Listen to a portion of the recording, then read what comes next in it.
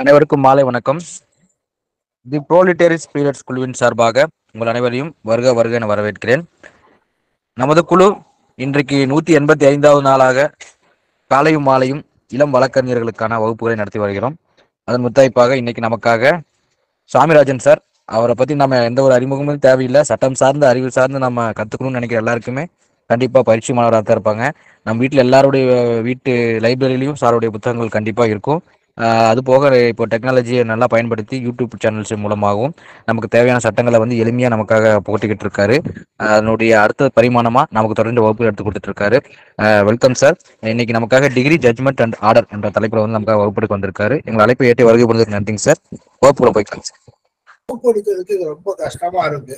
எல்லாருக்கும் இந்த கடையில போய் ஃபாஸ்ட் ஃபுட் வாங்கின மாதிரி தான் எல்லாரும் வாங்குறாங்கன்னா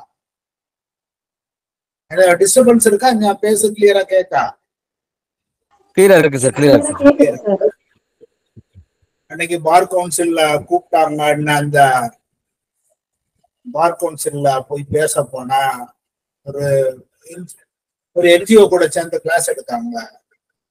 அதுல போனா போ கொஞ்சம் முன்னால போயிருந்தேன் உட்கார்ந்து இருந்தேன் ஒரு லேடி வந்தாங்க சார் முக்கியமான கேள்வியை மட்டும் சொல்லிட்டு போயிருந்தேன் சார் அவங்க அதுக்கு முக்கியமானது மட்டும் வேணும்.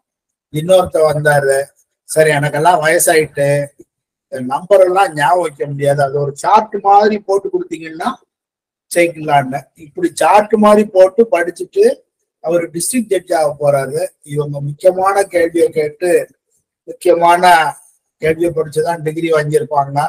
முக்கியமான கேள்வி வாங்கிட்டு பிரிலிமினரி ஆகிட்டு இனி மெயின் எழுத போறாங்க. அப்படி படிக்கிறதுல நமக்கு நாலேஜ் வேணும் சப்ஜெக்ட் தெரியணுங்கிறது தான் என்னோட கான்செப்ட் இந்த பரீட்சை எழுதவங்களுக்காக போகும்போது இப்படி ஒரு இஷ்யூ வருது.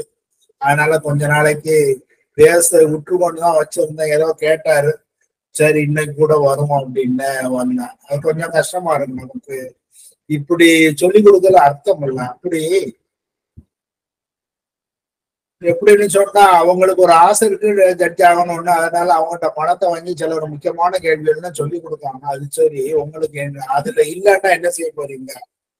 நல்ல நாலேஜ் இருக்கணும். நான் இன்னைக்கு இந்த நிலையில் இருக்கேன்னா என்னோட நாலேஜ் தானே காரணம் அப்படிங்க அதனால பரிச்சை முடிந்த வரைக்கும் யாருக்கும் கிளாஸ் எடுக்கிறான்னு வச்சிருந்தேன் சரி இன்னைக்கு அவர் சிபிசிபி கேட்காரு. இது என்னோட யூடியூப் சேனல்ல ஹையஸ்ட் நம்பர் ஆஃப் வியூஸ் உள்ளது இதுதான். எல்லாருக்கும் தெரியாத விஷயம்.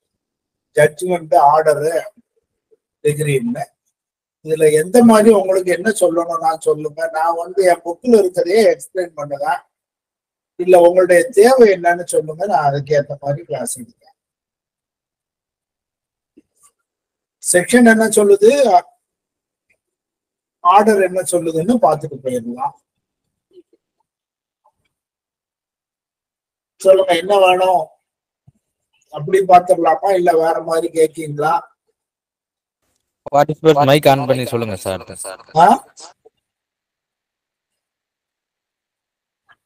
அப்படி பார்த்துடலாமா சார் உங்க புக்ல எக்ஸ்பிளனேஷனோட சொல்லிருப்பீங்க. அந்த மாதிரியே சொல்லுங்க சார். சரி.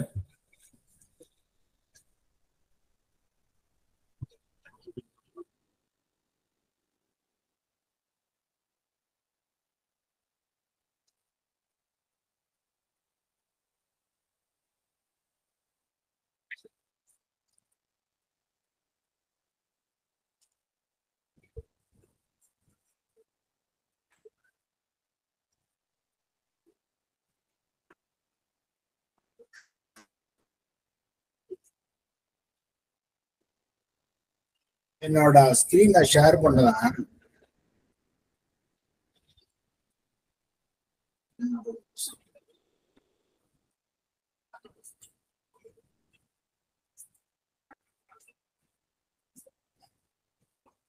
தெரியுதா?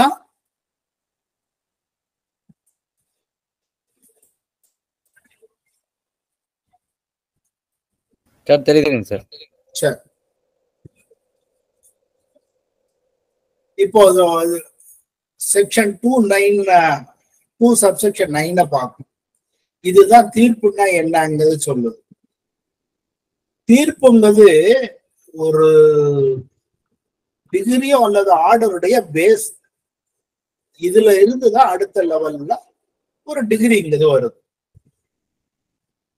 அந்த ஒரு ஜட்ஜ்மெண்ட்ல என்னெல்லாம் இருக்கும் அப்படின்னு சொல்லுவது order twenty rule four sub rule டூல சொல்லுது இதுல என்ன இருக்கும் ஒரு விஷயம் எதுக்கு கோர்ட்டுக்கு வராங்க? ஒரு பிரச்சனை இருக்கு. அவன் வாரா வந்து ஒரு பிரச்சனைன்னு சொல்லுதான். கோர்ட் என்ன செய்யணும்? நீங்க ஒரு பாவ வைங்க. பாவ பிரிவுனா ரெண்டு பேர் வராங்க ரெண்டு பேர் வந்தாங்கன்னா ரெண்டு பேர் கோர்ட்டுக்கு வந்துட்டு எனக்கு சொத்தை பிரிக்கணும் அப்படின்னு கேட்டாங்க. சொத்தை பிரிக்கிறதுல ரெண்டு பேருக்கும் ஒத்துக்கிட்டாங்க. அவனும் எங்க அப்பாவுக்குமா இருந்தா நானும் அப்பாவுக்குமா இருந்தா சொத்து அண்ணன் தம்பியை தான் சொத்தை பிரிச்சுக்கிடுதோம் அப்போ அதுல இஷ்யூ இல்லை. என்ன இஷ்யூ எதுல வருது? எப்படி சொத்தை பிரிக்கணும்? எத்தனை பங்கு எடுக்கணும்? இல்ல என் தங்கச்சி கல்யாணத்துக்கு நான் பணம் போட்டிருக்கேன். அதனால அந்த பணத்தை எனக்கு திருப்பி வேணும் அப்படின்னு சில விஷயங்கள டிஸ்பியூட் வரும். இந்த டிஸ்பியூட்டை தான் நம்ம என்ன சொல்லுதோம்? ஃப்ரேமிங் ஆஃப் இஷ்யூஸ்னு இவங்க ரெண்டு பேருக்குள்ள. ஒத்துக்கொண்ட விஷயங்கள் பிளைண்ட் கொண்டு தந்திருக்கதையும் டிஃபெண்டர் தந்திருக்கதையும் ரிட்டர்ன் ஸ்டேட்மெண்ட்டையும் பிளைண்ட்டையும் ஒத்து பார்த்துட்டு வேண்டாத விஷயங்களை தள்ளி விட்டு. அதுல என்ன இருக்கு? இதுல என்ன இருக்கு? பார்ப்போம். ரெண்டுலையும் டிஸ்பியூட்டட் மேட்டர் அதுதான் இஷ்யூஸ்ன்னு ஃப்ரேம் பண்ணும் அந்த இஷ்யூஸுக்கு ஒவ்வொரு இஷ்யூவுக்கும் ஒரு முடிவு வேணும்.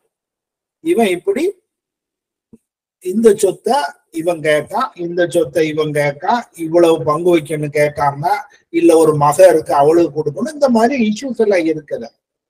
ஒவ்வொரு விஷயம். உதாரணம் ஒரு ப்ராமிசர் நோட்டு சொல்லுவாங்க. ஒரு ப்ராமிசர் நோட்டு ப்ராமிசர் நோட்டு அவர் வச்சிருக்காரு. இவன் ப்ராமிசர் நோட்டு அது பொய் பயமுறுத்தி வாங்கினாங்க அப்படின்னு சொல்லுவாங்க. அப்படி இருக்க சூழ்நிலையில என்ன இஷ்யூ ப்ராமிசர் நோட்டு ஃபோர்ஜரியா இல்லையா? இவர் கடை வாங்கினாரா இல்லையா? ஏதாவது திருப்பி கொடுத்துருக்காரா இல்லையா அப்படின்னு அதை கேட்கணும்.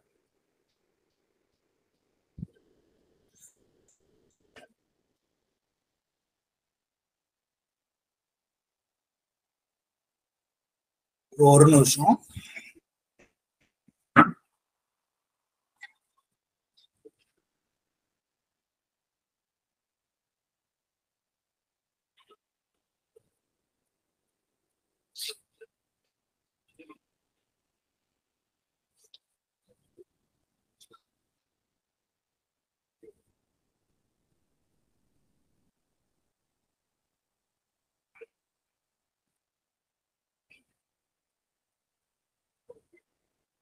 அப்போ அதை பேஸ் பண்ணி தான் நம்ம அடுத்து ஒரு தீர்ப்புங்கிறதுக்கு வரோம். அப்ப தீர்ப்புங்கிறது என்னென்ன பிரச்சனைகள் என்னென்ன பிரச்சனைக்கு என்ன முடிவுக்கு வந்தோம் அது ஏன் மட்டும் முடிவுக்கு வந்தோம் அவர் ப்ராமிசர் நோட்டு கொடுத்தேன்னு சொல்லியிருக்காரு. இவன் ஃப்ராடுன்னு சொல்லலாம். அந்த ப்ராமிசர் நோட்டு முடிச்சதுக்கு கொடுத்ததுக்கு ரெண்டு வாரத்துல மகளுக்கு கல்யாணம் முடிச்சாரு. இவ்வளவு செலவழிச்சிருக்காரு. அதனால பண கஷ்டம் இருந்திருக்கு.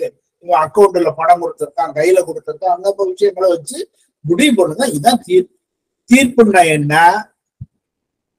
இஷ்யூஸ் இருந்தா அதன் முடிவு என்ன அப்படிங்கிற முடிவை சொல்லுங்க அதுக்கு பிறகு உத்தரவுங்கிறது அதே மாதிரி இன்ட்ரீமா ஏதாவது கொடுக்கணும் அதுக்காக இது பேஸ் இந்த விஷயங்கள் இதனால நாங்க இனி செய்ய போறோம் அப்படின்னு.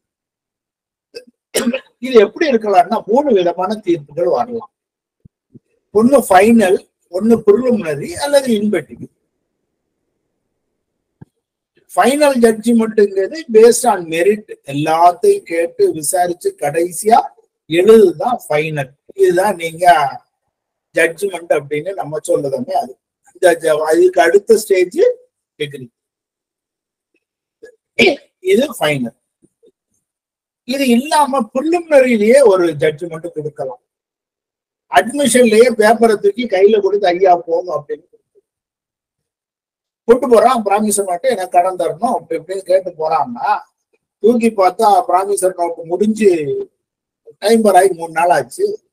கையில கொடுத்து போக சொல்லியிருக்கோம் இதுதான் ப்ரிலிமினரி அப்ஜெக்ஷன் வச்சுட்டு ஒரு கேஸை டிஸ்மிஸ் பண்ணுது. அது கூட ஒரு ஜட்ஜ்மெண்ட் இல்ல என்ன செய்தாங்க ப்ரிலிமினரி அப்ஜெக்ஷன் சொன்னாங்க அதை ஏத்துக்கிடலாம். உதாரணத்துக்கு ஒரு செக் பவுன்சிங் கேஸ் இருக்கு ஒரு ஃபோர் டுவெண்ட்டி கேஸ் இருக்கு இல்ல ஒரு ஆர்பிட்ரேஷன்ல இருக்கு இல்ல சூட் இருக்கு அப்படின்னா ஐயா ரெண்டு மூணு கேஸ் நடக்குதுன்னா அது இல்ல இந்த கோர்ட்டு வேற வேற காஸ் ஆஃப் ஆக்ஷன் அதனால் நடக்கு. அப்படின்னு அவர் பிரிலிமினரி அப்ஜெக்ஷனை ஓவர் ரூல் பண்ணிட்டு கொண்டு வரலாம் அது அடுத்தது. இது ரெண்டாவது. வழக்கு இனிஷியலா ரிஜெக்ட் பண்ணிடலாம் அல்லது தொடரணும் மூணாவது என்ன சொல்லுதோம்னா இடைநிலை அல்ல இது இடைக்கால தீர்ப்பு இன்பெட்டிவும் சில சில விஷயங்களை நம்ம ஒரு முடிவு பண்ணுவோம். அவன் என்ன செய்தா ஒருத்தர் போய் ஒரு எவிடன்ஸ் ஒரு டாக்குமெண்ட் கொண்டு அதை முடிவு பண்ணது கூட ஒரு தீர்ப்பு தான். அது ஏன்னா ஒரு ரீசன் தானே கொடுத்தாங்க. ஒரு சிலது அந்த தீர்ப்பு வச்சு நீங்க மேல போக முடியாது. சில விஷயத்துக்கு நீங்க அப்பீல் போக முடியும். அந்த தீர்ப்பு வருது. இப்படி ஒரு தீர்ப்பு வருது தீர்ப்புக்கு பின்னால தீர்ப்பாணை வருது. இந்த உத்தரவுங்கிறது நடுவில் நடுவில் வந்து. தீர்ப்பு தான் முதல்ல வருது. தீர்ப்பு வந்து பேஸ்ட் ஆன் ஃபேக்ட் டிகிரி வந்து பேஸ்ட் ஆன் ஜட்ஜ்மெண்ட் ஃபேக்டை வச்சு தீர்ப்பை கொடுப்போம் தீர்ப்பை வச்சு நம்ம ஜட்ஜ்மெண்ட்டுக்கு போறோம். கண்டென்ட் வந்து அதுல என்ன விஷயங்கள் எவிடன்ஸ் எல்லாம் எழுதும். ஆனா தீர்ப்பாணையில அதெல்லாம் வரப்போறது இல்லை தீர்ப்பாணைங்கிறது ப்ரிலிமினரி வரலாம் ஃபைனல் வரலாம் அப்படி ரெண்டு விஷயமா வரலாம். ஃபைனல் அப்படிங்கிற வரும். இனி இது வந்து ஜட்ஜ்மெண்ட்டை பத்தி பார்க்கணும். இப்ப டிகிரின்னா என்ன அப்படிங்கிறது இது கொஞ்சம் நீளமான டெஃபனிஷன் என்ன சொல்லுவாங்கன்னா இதாங்க டிகிரின்னு சொல்லுவாங்க. அப்புறம் இதை உள்ள சேர்த்துக்கோங்க இதை சேர்க்கலாம் அதாவது சர்ச்சைக்குள்ளே அனைத்து விஷயங்கள்ல எந்த ஒரு விஷயங்களையும் உறுதியாக தீர்மானிக்கிறது decree conclusively determines right of the parties எல்லாருடைய உரிமைகளை அப்படி இதான் உரிமை.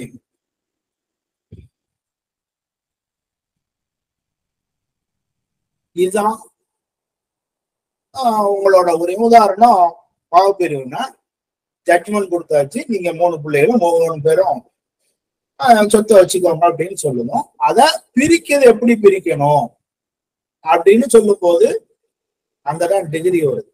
இவனுக்கு வீடு இவனுக்கு தோட்டம் இவனுக்கு வயல் அப்படின்னு பிரிக்கும். அதுதான். அதைத்தான் இங்க ஒவ்வொரு விஷயத்திலையும் கட்சிகளின் உரிமையை இதான் கன்க்ளூசிவ்லி டிட்டர்மின்ஸ் இந்த கன்க்ளூசிவ் வார்த்தை நிறைய இடங்கள்ல வருது. எவிடன்ஸ் ஆக்ட்ல பார்ப்போம். எல்லாத்துலயும் வரும்போது கன்க்ளூசிவ் அப்படின்னு வரும்.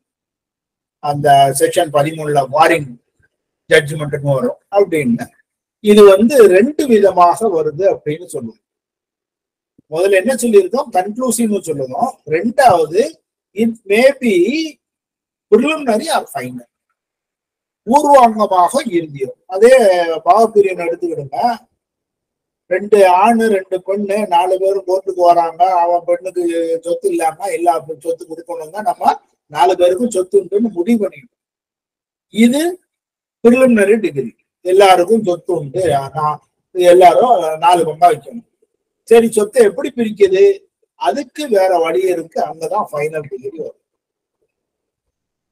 அத ஒரு ஆளுக்கு அனுப்பி அவரு ஒரு கல கலெக்டருக்கு அனுப்புறோம் கலெக்டர் எடுத்து எல்லாத்தையும் பங்கு வச்சாங்க பங்கு வச்சுட்டு அதை ஃபைனலா இந்த இந்த இடம் இவனுக்கு இந்த இடம் இவனுக்கு அப்படிங்கிற அங்க கொடுத்தாங்க. இதுதான் ப்ரிலிமினரி ஃபைனல்னு ரெண்டாவது முதல்ல என்ன சொன்னா டிஃபைன் பண்ணியிருக்கோம். ரெண்டாவது இதில் ரெண்டு வகையாக இருக்கலாம்னு சொல்லியிருக்கோம்.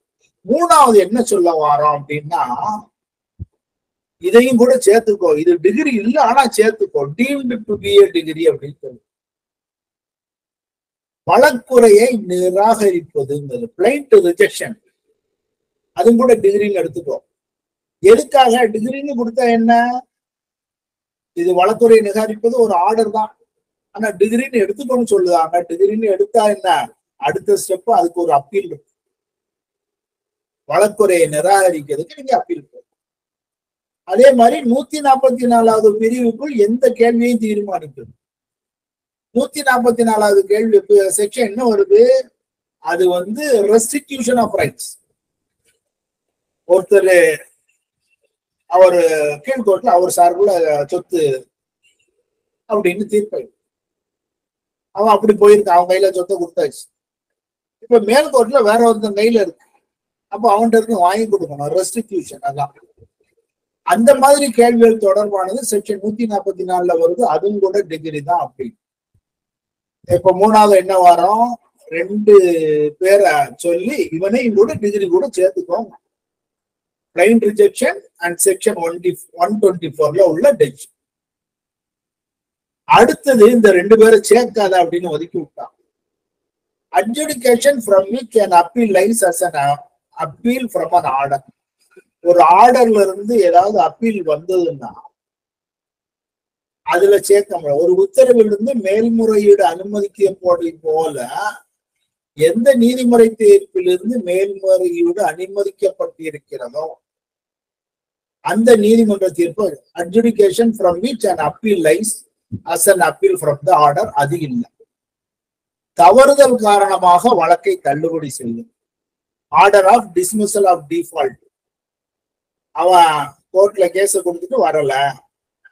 அப்போ டிஸ்மிஸ் பண்ண போறான். ஆர்டர் ஃபார் டிஃபால்ட் அது இதுக்குள்ள வரல அப்படிங்கிறத இந்த ரெண்டையும் அதுல சேர்க்காத.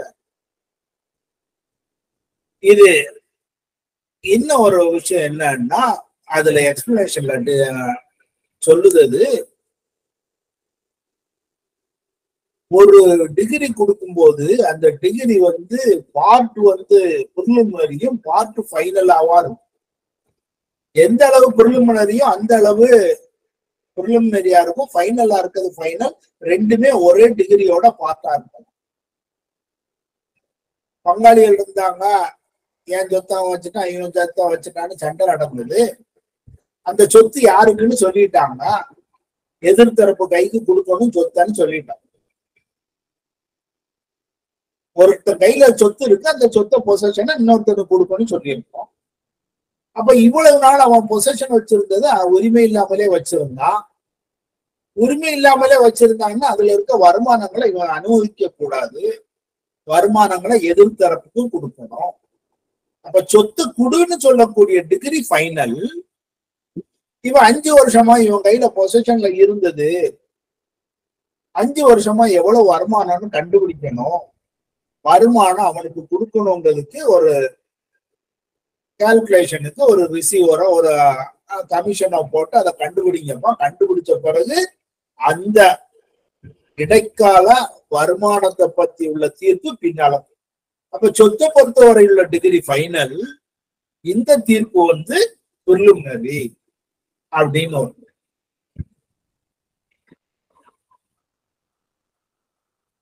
இது பொதுவா சொல்லக்கூடியது இது ஃபைனல் இன்னொரு முக்கியமான டாக்குமெண்ட் இது டாக்டரின் டாக்டரின் ஆஃப் மெர்ஜர் ஒரு நீதிமன்றம் ஒரு தீர்ப்பு வழங்கிட்டு அதுக்கு மேல அப்பீல் போறாங்க அப்பீல் போனாங்கன்னா அப்பீல்ல கொடுக்கிட்ட டிகிரி அப்படியே இது மேல வந்து ஓவர் ரூல் ஆகும் அப்ப என்ன?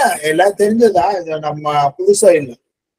கீழ்கோர்ட்ல இவர் பக்கம் ஆயிட்டு அது லைவா இருக்கு. மேல்கோர்ட்ல போகல எதிர்பக்கத்துக்கு ஆயிட்டு அப்ப கீழ்கோர்ட்டு தீர்ப்பு விலை இல்லை. அதுக்கு மதிப்பு இல்லை. அப்படியே இது அது மேல உட்கார்ந்துருது. அது அப்படியே கீழ்கோட்டு தீர்ப்பும் மேல்கோட்டு தீர்ப்பும் மெர்ஜர் அப்படின்னு சொல்லுவோம் இதான் டாக்டரின் ஆஃப் மெர்ஜர் மேலுக்கு அது அப்பீல் கோர்ட்ல ஒரு தீர்ப்பு கொடுத்தாச்சுன்னா ஒரு டிகிரி கொடுத்த ஆச்சுன்னா அது கீழ்கோர்ட்டு தீர்ப்பு மேல ஓவர் ரைட் ஆயிருது மேல்கோட்டின் வழங்கும் உத்தரவு அதிகாரம் பெறுகிறது. கீழ்கோட்டு உத்தரவு அதிகாரமற்று போகுது இதான் ரெண்டு நிலையா கொடுக்கலாம் அப்படின்னு நான் ஏற்கனவே சொன்னேன் ஒண்ணு பகுதி இந்த மாதிரி. பாருங்க உடமைக்காக ஒண்ணு வருமானங்களுக்காக முதல்நிலை preliminary decree for income position பொசிஷனை வரைக்கும் முடிஞ்சு வச்சு அவருக்குள்ளதான். கொடுத்துருன்னு சொல்லிடுறோம் இன்கம் இவன்கிட்ட இருந்து எவ்வளவு இன்கம் வாங்கணும் அப்படிங்கிறது தெரியல அப்படிங்கிறார். இதுல இன்னொரு முக்கியமான விஷயம் என்னன்னா பிரிலிமினரி டிகிரிக்கு அகைன்ஸ்டா நீங்க ஒரு அப்பீல் போகணுமானா உடனடியா போகும் ஒரு பிரிலிமினரி டிகிரி கொடுத்தா கூட அது வந்து அதை தொடர்பான தற்காலிகமான அது முடிவா தான் இருக்கணும். அதுல ஏதாவது பிரிலிமினரி டிகிரிக்கு அகைன்ஸ்டா இருந்ததுன்னா பாதிக்கப்பட்ட தரப்பினர் அதுல அப்பீல் போகலன்னா ஃபைனல் டிகிரியை வச்சுட்டு அப்பீல் போகும்போது பிரிலிமினரி டிகிரியில இப்படி ஒரு தப்பு இருந்தது அப்படின்னு சொல்ல முடியாது அப்படிங்கறத இதுல சொல்லுவோம். இதுல ப்ரிலிமினரி டிகிரியில இருந்து அப்பீலு போகணும் அப்படிங்கிறத அதுல சொல்லுவோம். இன்னொரு முக்கியமான தீர்ப்பு என்னன்னா ஐயா ப்ரிலிமினரி முடிக்க எனக்கு ஒரு ஃபைனல் டிகிரி தாங்க அப்படின்னு கேட்க வேண்டிய தேவையில்லை. நீதிமன்றத்தினுடைய கடமை அதை செய்து கொடுக்கணும்.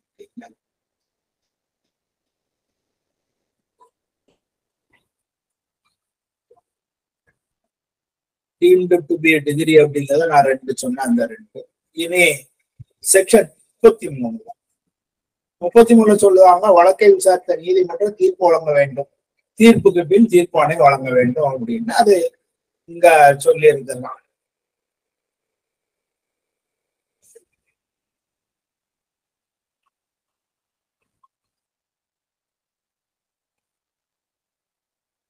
இது டிகிரின்னு வரும்போது அது தீர்ப்பாணைக்கு உட்பட இருக்கும். தீர்ப்புல இல்ல தீர்ப்பாணைங்கிறது தீர்ப்புக்கு உட்பட இருக்கும் தீர்ப்புல சொல்லியிருக்க விஷயம் அதை பேஸ் பண்ணி தீர்ப்பு டிகிரி கொடுக்கும் தீர்ப்புல அண்ணனுக்கு சொத்து உண்டுன்னு சொல்லிட்டு டிகிரி எழுதும் போது அண்ணனுக்கு இல்ல தம்பிக்குன்னு டிகிரி கொடுக்க முடியாது. ரெண்டையும் சேர்த்து வாசிக்கணும். ஒண்ணுக்கு ஒண்ணு முரண்பட முடியாதுன்னு நிறைய தீர்ப்புகள்லாம் இருக்கு. இந்த கட்டளை இருபதுல என்ன சொல்லுவாங்கன்னா இத்தனை நாளைக்குள்ள தீர்ப்பு கொடுக்கணும் அப்படின்னு சொல்லுவாங்க. இந்த ஒரு வழக்குல என்ன சொல்லிட்டாங்க சுப்ரீம் கோர்ட்ல அது மத்தவங்களுக்கு தரலாம் உயர் நீதிமன்றத்துக்கு இல்ல. நீங்க எவ்வளவு நாளும் கையில வச்சிருக்கீங்க அந்த மாதிரி ஒரு தீர்ப்பை கொடுத்திருக்காங்க இதுல. அந்த டைம் ஃப்ரேம் வந்து ஆர்டர் டுவெண்ட்டில சொல்லி இருக்கக்கூடிய டைம் ஃப்ரேம் உயர் நீதிமன்றத்துக்கு பொருந்தாது அப்படின்னு இனி ஆர்டர் இருபது இதுலதான் டிகிரி ஜட்ஜ்மெண்ட்டை பத்தி சொல்லுவோம். எப்ப தீர்ப்பு வழங்கப்படும்னா வழக்கு விசாரணை முடிந்த பிறகு உடனடியாக அல்லது கூடுமான வரை அஸ் சூன் அஸ் பிராக்டிக்கல் கொடுத்தவங்க தீர்ப்பு அப்படி ஒரு நாளை வச்சு அந்த வழக்கறிஞர்களுக்கு கொடுக்கணும். விசாரணை முடிவுக்கு வந்து முப்பது நாளைக்குள்ள வழங்கணும். இல்லையா? எக்ஸ்டெண்ட் பண்ணிக்கோ. அந்த எக்ஸ்டென்ஷன் எத்தனை நாளை தாண்டி போக கூடாது அறுபது நாட்களுக்கு அப்பாற்பட்டதாக இருக்கும். முழு தீர்ப்பையும் படிக்க வேண்டாம் அப்படின்னு சொல்லுவாங்க அதாவது எப்படின்னா ஆபரேட்டிவ் பார்ட் மட்டும் சொன்னா போதும். முழு தீர்ப்பு இருநூறு பக்கம் இருக்கும் முந்நூறு பக்கம் இருக்கும். அதெல்லாம் வேண்டாம். நீ கடைசியா இருக்கிறத மட்டும் சொன்னா போதும். ஒவ்வொரு பிரச்சனையும் நீதிமன்றத்தின் முடிவுகள் வழக்கில் நிறைவேற்றப்பட்ட இறுதி உத்தரவு. அது மட்டும் வாஸ்தா போதும். முழு தீர்ப்பை படிக்க வேண்டாம். இது வந்து எழுதுது அங்கேயே வச்சு திறந்த நீதிமன்றத்தில் சொல்லி அங்கேயே தீர்ப்பு வரும். ஹைகோர்ட் எல்லாம் பாத்தீங்கன்னா யூடியூப்ல எல்லாம் வரும். அங்கேயே வச்சு ஆர்டர் அப்படின்னு சொல்லிட்டு அடிச்சிருந்தாங்க. அங்கேயே தீர்ப்பு அங்கேயே சொல்லி. இவங்க சொல்ல சொல்ல அடிக்காம அப்படி ஒரு தீர்ப்பு. இல்லாட்டா ரொம்ப பெரிய விஷயமா இருந்தா அங்க உடனே ஆர்டர் கொடுக்கும் இப்ப டிஸ்மிஷல்லாம் உடனே அங்கேயே வச்சு ஆர்டர் அடிக்காம டிஸ்மிஷல்ல கைய போட்டு கொடுத்துருக்காங்க பெரிய விஷயம் ஒரு இரநூறு பக்கம் ஜட்மெண்ட் எழுதணும் நாற்பத்தஞ்சு பக்கம் எழுதுனா கூட அது பின்னால ஒரு நாள்ல எழுதுவாங்க. இதைத்தான் இப்படி பை டிக்டேஷன் எழுதுங்க அப்படின்னு சொல்லுவாங்க. அதுல கையெழுத்து போட்டோம் தேதியை போட்டிருக்கோம் நீதிபதியால் கையப்படமிட்டு தீர்ப்பு வழங்கப்பட்ட தேதியை கொண்டிருக்க வேண்டும். இது ஜட்ஜ்மெண்ட் ஒருத்தர் இருந்தாரு அவர் எல்லாம் விசாரிச்சுட்டாரு தீர்ப்பு வழங்கலையா? அவர் judgment written but not pronounced அப்படின்னா அவரால் எழுதப்பட்ட ஜட்ஜ்மெண்ட்டை இதுல கொண்டு வந்து கொடுத்தார்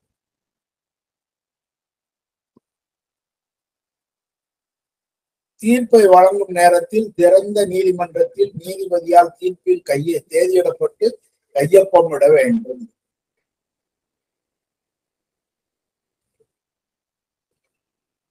ஒரு முறை கையொப்பமிட்டால் அதுக்கு பின்னால மாற்ற முடியாது. கொஞ்ச நாளைக்கு முன்னால மெட்ராஸ் ஹைகோர்ட்ல மாத்திட்டாங்க. சுப்ரீம் கோர்ட்ல ஒரு இஷ்யூ சின்ன ஸ்மால் ப்ராசஸ் கோர்ட்ல சின்ன சின்ன வழக்கு நம்ம எழுதினாங்க.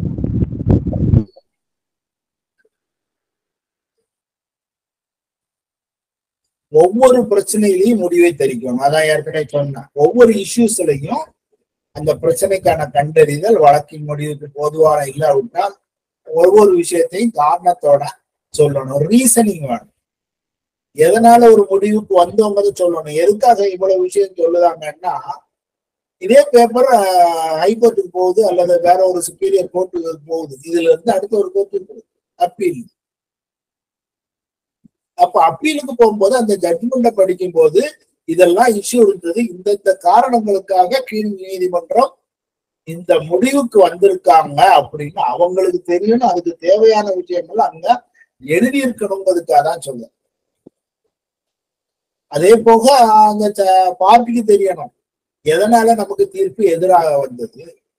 அப்படிங்கிறது பார்ட்டிக்கு தெரியணும் வேற போல எக்ஸ்பர்ட் ஜட்மெண்ட்டை பத்தி இங்க என்ன சொல்றாங்கன்னா நீ எக்ஸ்பர்ட் ஜட்ஜ்மெண்ட் கொடுத்தாங்க அதாவது அந்த ஆள் வரல. இப்ப வந்திருக்கான். டாக்குமெண்ட்லாம் கொண்டு வந்தாரா?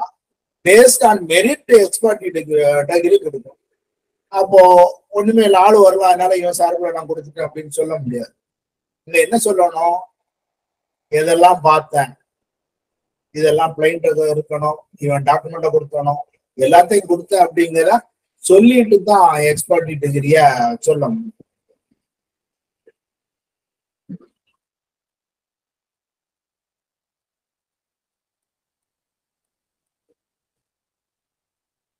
ஹலோ? ஆ. ஒரு கிளாஸ்ல இருக்கேன் நான் கூப்பிடுறேன் எட்டரைக்கு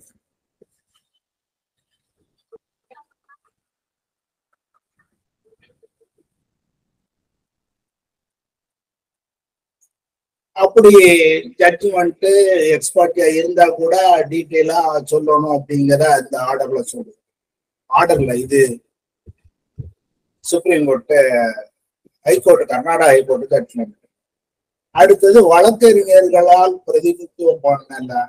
அவனே பார்ட்டியின் பர்சனா இருந்தா ஐயா இதான் தீர்ப்பு. வேணுமானா நீ இந்த நீதிமன்றத்துக்கு போ. இவ்வளவு நாளைக்குள்ள போனோம் அப்படின்னு சொல்ல வேண்டியதை நீதிமன்றம் சொல்லணும் அப்படிங்கிறத ஒரு கட்டாயம் வச்சிருக்காங்க அது மட்டும் இல்ல கட்சிகளுக்கு அவர் சொல்லிட்டவங்களையும் அவங்க சொல்லணும். இது கண்டென்ட் ஆஃப் தி டிகிரி இப்போ தீர்ப்பு இதோட முடிச்சிட்டோம். தீர்ப்பானைக்கு வாங்க. தீர்ப்பானையில என்ன தீர்ப்பானை வழக்கு என் கட்சி பேர் இதெல்லாம் டீட்டெயிலா இருக்கணும் அப்படின்னு இதுல செலவு எங்க கொடுக்கணும்? செட் ஆஃப் இருக்கா? அவன் பத்து லட்சம் கேட்டு நீதிமன்றத்துக்கு வந்திருக்கான். ஐயா எனக்கு அஞ்சு லட்சம் அவன் தரணும் அப்படின்னா இவன் பத்து லட்சம் சரக்கு கொடுத்தாங்கன்னா அவன் ரெண்டு லட்சம் சரக்கை நான் டிஃபெக்டிவ் திருப்பி அனுப்பிட்டாங்கன்னா இதுதான் செட் ஆஃப் இவனுக்கு அவனுக்கும் நடுவுல உள்ளத சரி செய்துக்கிடுது. அது எப்படி என்னவும் இருக்குன்னு அதை சொல்லணும். தீர்ப்பானை தயார் செய்து பதினைந்து நாளைக்குள்ள தீர்ப்பானை செய்யணும். பிப்டீன் டேஸ் டைம் கொடுக்காம தீர்ப்பானைக்கு. அதுல பாருங்க ஒவ்வொரு முயற்சியும் செய்ய வேண்டும். பதினஞ்சு நாள் கொடுத்தாச்சு. பதினஞ்சு நாள் கொடுக்க ட்ரை பண்ணு அப்படின்னு சொல்லி அங்க ஒரு ரிலாக்ஸேஷன் கொடுத்துட்டாங்க. மேல்முறையீடு செய்ய மேல்முறையீடு செய்ததுக்கு தேவையான டிகிரி எல்லாம் காப்பி எல்லாம் உடனே கொடுங்க அப்படின்னு எப்போது கிடைக்கும்னா கட்டணத்தை செலுத்துவாங்க இது ரொம்ப முக்கியமான விஷயம். டிகிரியோட டேட்டு என்னன்னு சொன்னா ஜட்ஜ்மெண்ட் டேட் தீர்ப்பு அறிவிக்கப்பட்ட நாளை தீர்ப்பானை கொண்டிருக்க வேண்டும். அதாவது எதுக்காக? இந்த எஃபெக்ட பின்னால கொண்டு போய் தள்ளிடுறான். ஜட்ஜ்மெண்ட் கொடுத்த நாள்ல இருந்தே அவனுக்கு எஃபெக்ட் இருக்கும் இந்த சொத்து இவருக்கு அப்படின்னு கொடுக்காம அப்படின்னா அந்த தேதியில இருந்து அவருக்கு சொத்து வந்துருது. அந்த தேதியில இருந்து அதுல இருக்க வருமானங்கள் போனோம் அந்த மாதிரி அதுக்காக தீர்ப்பு அறிவிக்கப்பட்ட நாளை தீர்ப்பானை கொண்டிருக்க வேண்டும்.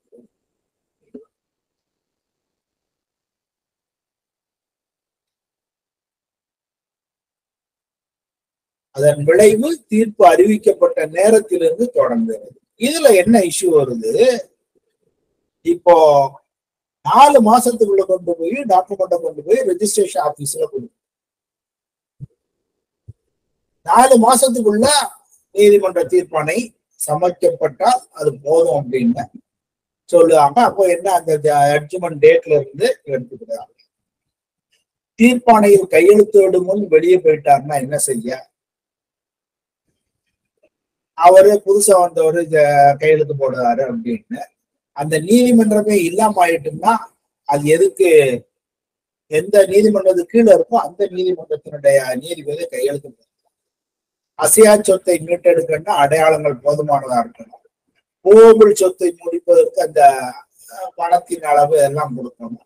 தவணை முறையில் செலுத்த தீர்ப்பானை கொடுக்கலாம். பணம் செலுத்த ஒப்பந்தத்தில் ஒண்ணுமே சொல்லலன்னா கூட என்ன செய்யலாம்? கோர்ட்டு தவணையில கொடுக்கறதுக்கு உத்தரவு போடலாம். தீர்ப்பாணைக்கு பிறகு தவணை முறையில் பணம் செலுத்துவதற்கு உத்தரவு.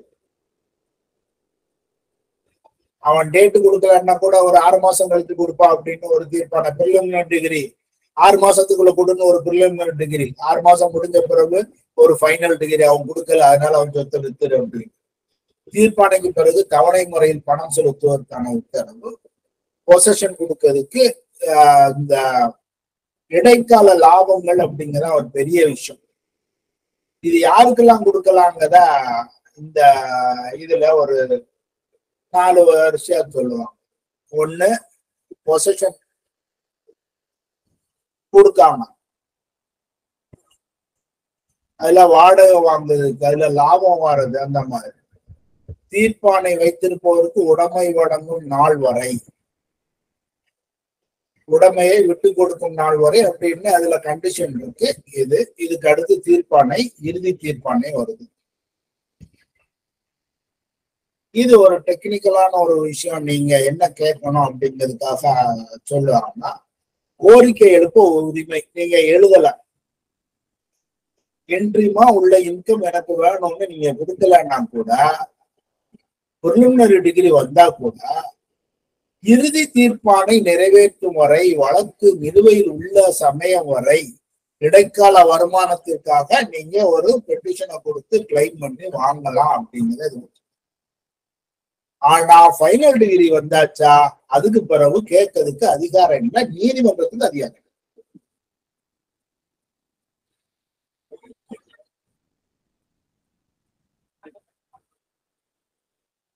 இறுதி தீர்ப்பானையில இத பத்தி சொல்லலைன்னா கேட்கறதுக்கு உரிமை இல்லை. இது ஒரு ஜட்ஜ்மெண்ட் என்னன்னா இடைக்கால வருமானம் பல விதமா வரும். கடந்த கால இடைக்கால வருமானம் அது உங்களுக்கு தெரியும். ஒரு கடை அவன்கிட்ட பொசஷன் இருக்கு. அஞ்சு வருஷமா வாடகை வாங்கிட்டு இருக்கான். மாசம் ஆயிரம் ரூபாய் வாடகை. அஞ்சு வருஷத்துக்கு இவ்வளவு ஆகுதுன்னு தெரியும். காஸ் ஆஃப் ஆக்ஷன் இருக்கு ஏற்கனவே இருக்கு. அதை வச்சுட்டு நீங்க ஸ்டாண்ட் விட்டு கொடுக்கணும். இப்ப வழக்கு தொடங்கினதுல இருந்து பின்னால இருக்கிறதுக்கு ஸ்டாம்ப் விட்டு தெரியாது அப்ப முடியாது கடைசியில தான் கட்ட முடியும்.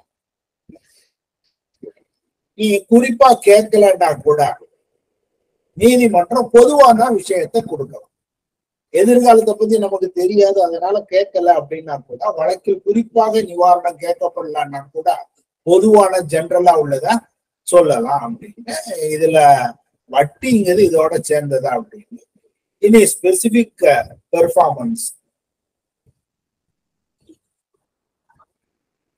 குத்தகைக்கு பணத்தை கட்டுறதுக்கு டிகிரியில சொல்லணும் அப்படின்னு. இதுல அட்மினிஸ்ட்ரேட்டிவ் சூட்ல அடுத்தது பிரியம்ஷன் இது நமக்கு அவ்வளவு முக்கியத்துவம் இல்லை.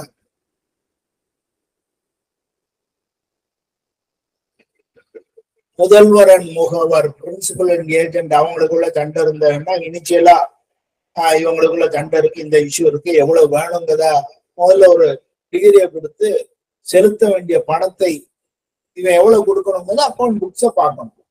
அப்படி இருக்கையில ஃபைனல் டிகிரிக்கு முன்னால ஒரு ப்ரிலிமினரியை கொடுத்துட்டு அதுல கணக்கு எடுத்துக்கணும். அதே மாதிரி கணக்குகளுக்கான சிறப்பு வழிகாட்டிகள் சொத்தை பிரிப்பதற்கான சொத்தை யார் பங்கு வைக்கிறது அப்படின்னு.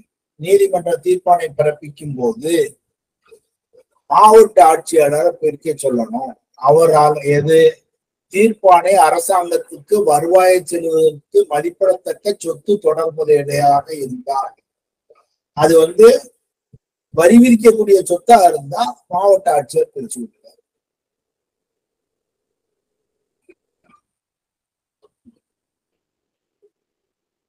வழக்கு நிலுவையில் இருக்கும் போது பெறப்பட்டவை.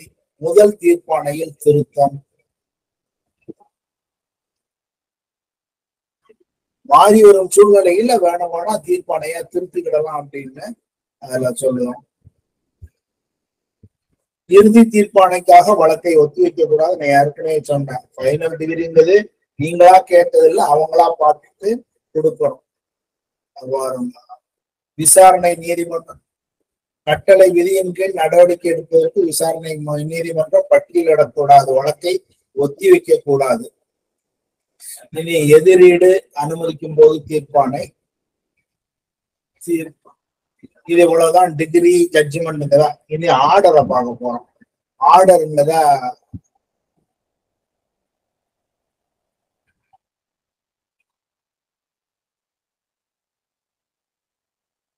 order thirty four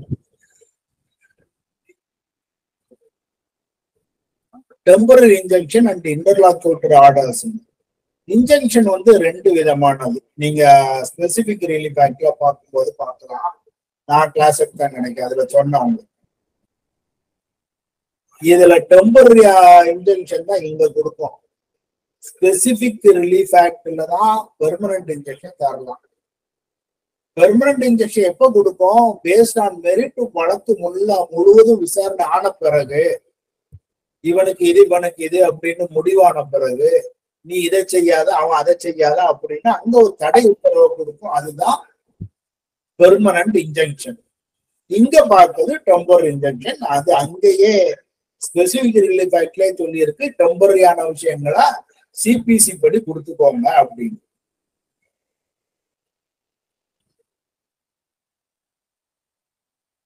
சில விஷயங்கள் சட்டத்துக்கு புறம்பானது இருக்கு. இல்ல அது இதனால இவனுக்கு கஷ்டம் வரும்னு தெரிஞ்ச ஒரு இடத்துல சோறு கட்டுதான் வழக்கு முடிய வரைக்கும் பார்த்துக்கிட்டு இருந்தா அவன் வீடே கட்டிட்டு போயிடுவான். அப்ப அது செய்யாத அப்படின்னு அது சொல்லணும்.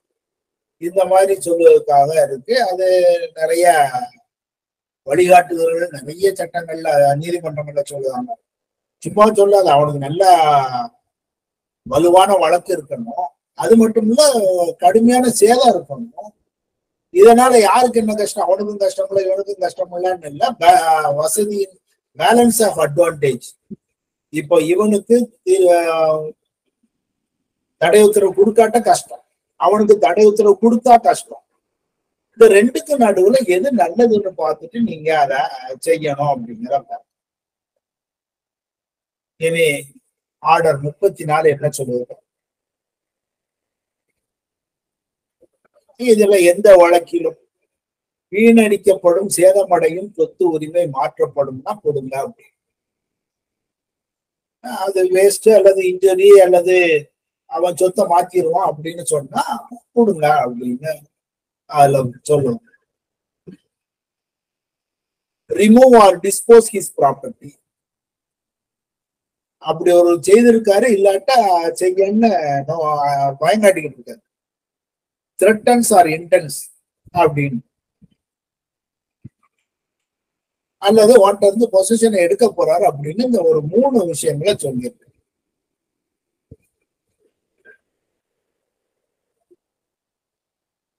வீணடிக்கப்படும் சேதமடையும் சொத்து உரிமை மாற்றம் செய்யப்படும். அல்லது சொத்து மாற்றப்படும். அல்லது பொசிஷனை எடுத்துக்கிடுவாங்க. இப்படி பிரமாண பத்திரம் அல்லது மற்றபடி நிரூபிக்கப்பட்டால்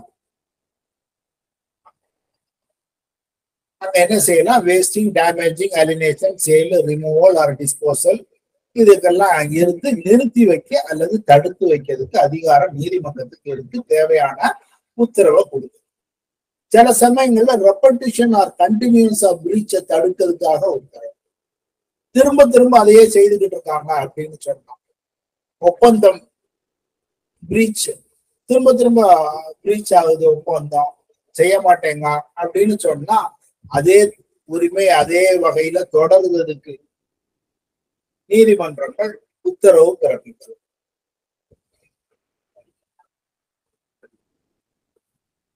இது தடை உத்தரவு அப்படி பிறப்பிக்கலாம் என்னென்ன விஷயம்னு சொல்லிட்டாங்க. அந்த மூணுக்குள்ள வரணும். மூணுக்குள்ள வந்தா அந்த மூணுக்குமான ரெமடி அங்க கொடுத்தாங்க? சொத்தை விற்பனை செய்யாத அதை எடுத்துட்டு போகாத அப்படின்னு சொத்தை வீணாக்காத அப்படின்னு சொல்லுவாங்க. உதாரணம் அண்ணன் தம்பி சண்டை சொத்து சண்டை. தம்பி வயல்ல பொசல்ல வச்சிருக்கான். அண்ணன் கேட்கான் அண்ணன் சொத்து. தரமாட்டேங்கான். அவன் கொடுக்க மாதிரி இருக்குன்னு அந்த வயலை என்ன செய்வான்? அவன் அப்படியே செய்ய மாட்டான். அது அப்படியே வயல விவசாயம் பண்ண முடியாத லெவலுக்கு மாற்றிடும். இந்த வழக்கு அஞ்சு வருஷம் முடியுங்கள அது காடாயிரும். அப்ப அவன் என்ன செய்யலாம்? இந்த மாதிரி செய்யணும். ஏதாவது கேட்கலாம். அந்த மாதிரி சொத்து வீணாவதை தடுக்கலாம். சொத்து மாற்றப்படுவதை தடுக்கலாம். அப்படிங்க மூணு விஷயத்த சொல்லியிருக்காங்க. அல்லது சொத்த பொசஷன் எடுக்காங்க அதுக்கு தடை உத்தரவு கொடுக்கலாம். உறுத்துக்கட்டு அல்லது மீள் செய்கை அல்லது தொடருவது அதையே திரும்ப திரும்ப பிரிச்சு அல்லது திரும்ப செய்தாங்க அது செய்யாது. அதோட நிறுத்திக்கோ அப்படின்னு. ஒரு இடம் குத்தகை கொடுத்துருக்கோம். குத்தகை கொடுத்தவர் திரும்ப திரும்ப இடத்துல போய் என் இடத்த தான் என் இடத்தான்னு கேட்காரு ஆனா ஒப்பந்தப்படி என்ன இருக்கு? அவருக்கு வாங்கினவனுக்கு ஒப்பந்தப்படி உரிமை இருக்கு. அப்ப என்ன செய்யலாம்? ஒப்பந்தம் மீறல். ஒப்பந்தப்படி நீ இதை செய்யாத. அவனை கேட்காத. வழக்கு முடியுது வரைக்கும் நீ அவன்கிட்ட தொந்தரவு பண்ணாம இரு அப்படின்னு கேட்கலாம். கண்டினியூஸ் பிரீச் இதுக்கு நீங்க rule number two sub rule டூல சொல்லுவாங்க. இதெல்லாம் பார்த்துட்டு ஒரு உறுத்து கட்டளை பிறப்பிக்கலாம். அதுக்கு வேணுமானா என்ன செய்யலாம்? செக்யூரிட்டி வாங்கிக்கிடும் இல்லாட்டி என்ன கண்டிஷன் போடணும்னா போடுங்க. ஆனா இது கேட்காம வழங்கப்பட முடியாதுன்னு சரி ஒரு நம்ம கொடுத்துட்டோம். அவன் ஏத்துக்கிடல. அவன் திரும்ப திரும்ப நீ அங்க போகாதா கேட்காத குத்தகை இடத்த கேட்காதன்னு கேட்க அவன் திரும்ப திரும்ப போனான் அதை என்ன செய்யணும்? அவனுக்கு தண்டனைக்கு தான் ரூல் நம்பர் டூ ஏழு இருந்தா அவனா அட்டாச்மெண்ட் ஆஃப் ப்ராப்பர்ட்டி இல்ல வேணுமானா மூணு மாசம் ஜெயில வைக்கலாம். ஒரு வருஷத்துக்கு மேல அட்டாச்மெண்ட் இருக்க முடியாது. இருந்தா என்ன ஆகணும்? அதுக்கு பிறகு கவர்மெண்ட் கொடுத்து அந்த சொத்தை விற்கணும். அந்த சொத்தை வித்துட்டு இதனால இவனுக்கு பாதிப்பு இருந்தா அவனுக்கு நஷ்ட ஈடு கொடுக்கணும். பாக்கிய அவன் கையில கொடுத்துருவாங்க அவன் செத்து இந்தாப்பா பத்து லட்சம் வித்தேன் ஒரு நாள் இவனுக்கு நஷ்டம் ரெண்டு லட்சம் எட்டு லட்சம் கையில வச்சுக்கணும் கையில இதுல இப்படி பாதிப்பு உருத்து கட்டளைக்கு அவன் ஏற்றுக்கொள்ளாமல் எதிராளியாகி நிற்கான். செய்ய மாட்டேங்கான் அப்படின்னு சொன்னா என்ன செய்யலாம் அப்படிங்கிறதுக்கு ஒரு வழக்குல என்ன செய்தாங்க அவன் நீதிமன்ற அவமதிப்பு அப்படின்னு கொண்டு வராங்க அதுக்குத்தான் இந்த வழக்குல என்ன சொல்லுவாங்க கர்நாடகா ஏற்கனவே இதுலயே சிஸ்டம் இருக்கு. ரெமடி என்ன? அவனுக்கு தண்டனை என்னன்னு சொல்லியாச்சு. இதைத்தான் செய்யணும். இது போக இது சரி வரலன்னா ஏதாவது குறிப்பிட்ட காரணத்துக்காக வேணா நீங்க வேற அது போக முடியும். விதிவிலக்கான சந்தர்ப்பங்களில் மட்டுமே நீங்கள் அவமரியாதை அவமதிப்பு சட்டத்துக்கு கீழே போகணும். இல்லாம இருந்தா என்ன செய்யணும்? இதுலதான் போகணும். என்ன செய்யணும்? அட்டாச்மெண்ட் ஜெயில வை மூணு மாசம். அதுக்கு பிறகு சொத்தை வித்துரு அப்படி இதுல ஒபீடியன்ஸ்ன்றது வில்ஃபுல் டிஸ்ஒபீடியன்ஸா இருக்கணுங்கிறத நீதிமன்றம் சொல்லும் அவன் தெரியாம ஒரு தடவை செய்திருப்பான். அல்லது வேணும்னே தான் செய்தான் திரும்ப திரும்ப செய்தான்னு கட்டாயமா காட்டணும் ரூல் நம்பர் த்ரீ சொல்றது நோட்டீஸ் அனுப்பாம நீங்க இன்ஜெக்ஷன் கொடுக்க கூடாது இல்ல கொஞ்சம் அவசரம் அப்படின்னா காரணங்களை பதிவு செய்யும்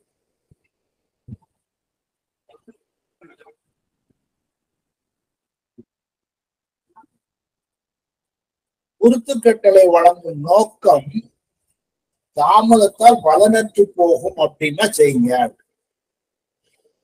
அவனுக்கு நோட்டீஸ் அனுப்பி அவன் வந்து அதுக்கு பிறகு நீங்க ஆர்டர் போடுறதுக்குள்ள நிறைய கஷ்டப்பட்டு போவோம் அப்படின்னா அதுக்குள்ள வைங்க அப்படின்னு. உதாரணம் ஒரு மோசமான சுற்றுச்சூழலுக்கு ஆபத்தானது. நீங்க நோட்டீஸ் அனுப்பி முப்பது நாள் வரக்குள்ள எங்க உடம்பு எல்லாம் ரொம்ப கெட்டு போகும் அப்படின்னு சொல்லுவாங்கன்னா அதுக்கான ஆவணங்கள்லாம் கொடுத்தாங்கன்னா கொடுத்துட்டு நீங்க அவனை வர சொல்லி கேட்டுக்கலாம் அப்படின்னா அந்த மாதிரி அர்ஜென்ட் கேசஸ்ல வேணுமானா ஆப்போசிட் சைடுக்கு நோட்டீஸ் அனுப்பாம இன்ஜெக்ஷன் கொடுக்கலாம். ஆனா இன்ஜெக்ஷன் கொடுத்தா அதுக்கு கொஞ்சம் கண்டிஷன் வச்சுட்டான் அந்த இந்த இன்ஜெக்ஷன் கொடுத்ததுக்கான பெட்டிஷனோட காப்பி இவரோட அஃபிடவிட் காப்பி கம்ப்ளைண்டோட காப்பி இவர் என்னெல்லாம் டாக்குமெண்ட் வச்சிருக்காரு இதெல்லாம் வச்சுட்டு அன்றைய தினத்திலோ அல்லது அடுத்த நாளிலேயே நான் அனுப்பிட்டேன் அப்படின்னு போய் அடுத்த நாள் அஃபிடவிட்டு கோர்ட்ல கொடுக்கணும். ஐயா எனக்கு நேத்து இன்ஜெக்ஷன் கொடுத்தீங்க. நான் அன்னைக்கு தேதியிலேயே போய் அந்த எல்லா டாக்குமெண்ட்டையும் அவருக்கு அனுப்பி கொடுத்துட்டேன். அல்லது அதுக்கு அடுத்த நாள் அனுப்பிட்டேன்னு பிரமாண பத்திரத்தை தாக்கல் செய்ய வேண்டும். அவசரத்துக்கு கொடுத்தாச்சு. எல்லா பேப்பரும் அன்னைக்கே அனுப்பிட்டு அவனை ஒரு தேதியை கொடுத்து வர சொல்லு.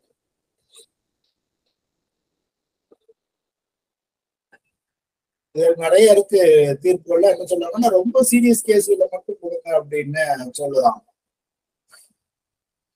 இது அடுத்தது அப்படி ஒரு விஷயம் கொடுத்துருந்தீங்கன்னா முப்பது நாளைக்குள்ள அது மேல ஃபைனல் டெசிஷன் எடுத்துருங்க. அவனை வர சொல்லி கேட்டு முப்பது நாளைக்குள்ள ஃபைனல் டெசிஷன் இல்ல முடியலையா? அது என்னன்னு. முப்பது நாளைக்குள்ள கொடுன்னு சொல்லியிருக்கான். அவன் என்ன செய்யிருக்கான்? வாயில வாங்கிட்டே போறான் அவன் வந்து பதில் கொடுக்கல அவன் டாக்குமெண்ட் கொடுக்கல வரமாட்டேங்க அப்படின்னா அதுக்கு பிறகு என்ன செய்யலாம்? இந்த உறுத்துக்கட்டளையை நீக்கலாம் மாற்றலாம் ஒதுக்கி வைக்கலாம். கோர்ட்டு கொடுத்த உத்தரவு அதை எந்த நேரத்துல மாற்றலாம் ஐயா அதை ஏமாத்தி வாங்கிட்டான். சொல்லி அதை எடுத்து மாத்தலாம். இல்ல இன்னும் சேஞ்சு சர்க்கம்ஸ்டான்சஸ் இன்னைக்கு தேவைக்கு அது தேவையில்லை. அப்படின்னு நீதிமன்றம் நினைச்சா மாத்திக்கணும்னா இது வாய்ப்பு கொடுத்துருக்கு. ஆனா அதுக்கு என்ன செய்யணும்? அதுக்கு முன்னால இயற்கை அதர் சைடு ரெண்டு பேரையும் கேட்டுட்டு நீங்க அதை மாற்றலாம் எல்லாம் செய்யலாம் அப்படின்னு. கூட்டு நிறுவனத்தின் உறுத்து கட்டளை அதிகாரியை கட்டுப்படுத்தும். ஒரு கம்பெனிக்கு நம்ம இன்ஜெக்ஷன் கொடுத்துருந்தோம் அது கம்பெனி தானே இதுதான் அப்படின்னு கம்பெனி கம்பெனி போய் ஒருத்தன்ட்ட கடை கொடுத்துருந்தோம் அந்த கம்பெனிக்கு ஆர்டர் போட்டு நீ அவன்கிட்ட போய் தொந்தரவு பண்ணாத முடிவு பண்ணிக்கிடுவோம் அப்படின்னு சொல்லியிருக்கோம்னா கம்பெனிக்கு தானே ஆர்டரு? எனக்கு இல்லையான்னு அதுல வேலை பார்க்க போய் நிக்க முடியாது. அவருடைய அனைத்து அதிகாரிகளையும் உறுப்பினர்களையும் கட்டுப்படுத்தும் இது வந்து ஒரு தடை உத்தரவு அப்படின்னு ஸ்டே அப்படின்னு சொல்லுது இது இன்டர்லாக்யூட்டரி ஆர்டர்ஸ் சில உத்தரவுகளை கொடுத்தாங்க. இடைக்காலம். ஒரு சொத்தை பிடிச்சு வச்சிருக்கோம். சொத்து அழுகும் பொருள் வழக்கு முடிவு வரைக்கும் வச்சிருக்க முடியாது. அப்ப என்ன செய்யணும்? விற்கணும். அதுக்கு ஒரு உத்தரவு. அந்த சொத்து வித்துரு அப்படின்னு. இதைத்தான் நம்ம இன்டர்லாக்யூட்டரி ஆர்டர்ஸ் அப்படின்னு சொல்லுவாங்க இதுக்கு ரூல் நம்பர் சிக்ஸ்ல இருந்து சொல்லுவோம். அது பொருளை விரைவான அழுகுந்தன்மையா இருந்து அதை வித்துருங்க அப்படின்னு சொல்லுவோம். இதை பாதுகாத்தல் பேணி காத்தல் ஆய்வு செய்தல். ஒரு வழக்கின் ஒரு முக்கியமான இதை கட்டாயமா ஒரு இடத்துல வச்சிருக்கலாம் அப்படிங்கிற பாதுகாத்தல் பேணி காத்தல் அப்படிங்கிறதுக்கு ஆஹ் தேவையான உத்தரவு கொடுக்கலாம். எப்படின்னா பாதுகாப்புக்கு வைக்க ஆய்வு செய்ய உத்தரவு கொடுக்கும் இப்போ ஒரு இடத்துல ஒரு சொத்து இருக்கு அது வேற ஒரு இடத்துல பாதுகாப்பா வைக்கணும்னா அதுக்கு என்னன்னு செய்யலாம் உதாரணத்துக்கு நிறைய கோல்டு இதெல்லாம் இருக்கு. அந்த கோர்ட்டோட பாதுகாப்புல வைக்க முடியாது. ஒரு டிஸ்பியூட்டட் மேட்டர் நிறைய ஒரு ரெண்டாயிரம் கோடி பிடிக்கா இரநூறு கோடி பிடிக்காங்களா அதெல்லாம் கோர்ட்ல கொண்டு வந்து எங்க வைக்க முடியும்? அப்ப என்ன செய்வாங்க? அந்த அமௌண்ட்டை கொண்டு போய் கவர்மெண்ட் ட்ரெஷரியில ஒரு பாதுகாப்பா வைங்க அப்படின்னா அப்ப பேணி காத்தல் பொறுப்பை யாராவது ஒரு ஆளுக்கு கொடுக்கலாம் இல்ல ஏதாவது ஒரு இன்ஸ்பெக்ஷன் வைக்கணும் அது எல்லாம் கள்ள நோட்டா நல்ல நோட்டான்னு டிஸ்பியூட் இருக்கு ஆய்வு செய்யுங்கள் அப்படின்னு இந்த மாதிரி கொடுக்கலாம். கட்டிடத்திற்கு நுழைவதற்கு அதிகாரம் கொடுக்கலாம் இதுக்காக சாம்பிள் எடுக்கிறதுக்கு இதெல்லாம் கொடுக்கலாம்ன்றதெல்லாம் இடைக்காலமா கொடுக்கக்கூடிய ஆஹ் உத்தரவு. நுழைவதற்கு அங்கீகரிக்கணும். இது ஏற்கனவே எக்ஸிகியூஷன் ப்ராசஸ்ல எப்படி உள்ள போகணும் எப்படி வெளியே வரணும் அப்படின்னு. அவன் போகணும் வெளியே நிக்கணும். ஜன்னல் உடைச்சு உள்ள போலாம் வெளியே போலாம்லாம் பெரிய ப்ரொசீஜர் எழுதியிருக்கு எக்ஸிகியூஷன் ப்ராசஸ்ல அதே மாதிரி இங்க அதே ப்ரொசீஜர் போகும். அத்தகைய உத்தரவுகளுக்கான விண்ணப்பம் அறிவிப்பு பிறகு இருக்கும். இது என்ன செய்யணும்? அவர் விண்ணப்பம் கொடுக்கணும். அடுத்தவனுக்கு நோட்டீஸ் அனுப்பி கேட்டுட்டு தான் இந்த மாதிரி விஷயங்கள் செய்யறது. இது ஒரு வித்தியாசமானது. அதாவது அரசாங்கத்துக்கு வரி செலுத்தும் நிலம் அல்லது விற்பனை செய்ய வேண்டிய நிலம். அந்த ஆளு அவர் வச்சிருக்காரு வச்சிருக்கவரை கவர்மெண்ட்டுக்கு டாக்ஸ் கட்டல கவர்மெண்ட் விற்க போகுது. கவர்மெண்ட் விற்க போது என்ன செய்யணும் அந்த வழக்கில் இருக்கவன் யாராவது ஒருத்தன் ஐயா அதை அந்த இடத்த நான் வாங்கி கொடுத்தேன். அந்த வாடகையை நான் செலுத்திக்கிடுவேன் என் கையில சொத்து வச்சிருக்கேன். அதுக்கு பிறகு நீங்க முடிவு பண்ணுங்க. அப்படின்னு கேட்கலாம் அப்படிங்கிறதுக்கு இந்த ரூல் நம்பர் நைன்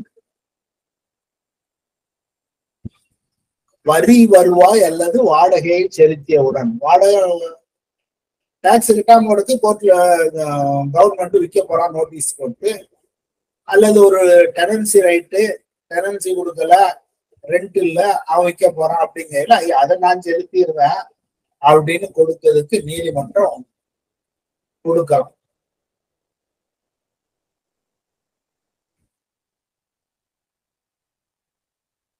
உரிமை கோரும் வழக்கின் வேறு தரப்பினர். சொத்து ஒத்த கையில இருக்கு இவர் டிபெண்டா தான் இருக்காரு அல்லது பிளைண்டிஃப்ல வேற ஒரு ஆளா இருக்காரு. அதுல ஒரு ஆளு இல்லாத நாம் இருக்கிறதா அப்படின்னு சொல்லலாம். அந்த தீர்ப்படை வரும்போது அந்த பணத்தை எப்படி கொடுக்கணும் அதுக்கு வட்டி கொடுக்கணுமா என்ன அப்படிங்கிற சொல்லுவாங்க. அடுத்தது பணம் வைப்பீடு செய்தது இதுக்கு கூட உத்தரவு கொடுக்கலாம் யார் கையில கொடுக்கணும் என்னன்னு நீதிமன்றத்தில் வைப்பீடு செய்ய உத்தரவிடலாம். நம்பிக்கையின் பேரில் வைத்திருக்காங்க பணம் சம்பந்தமான ஆர்டர் கொடுத்தாங்க. இதுதான்.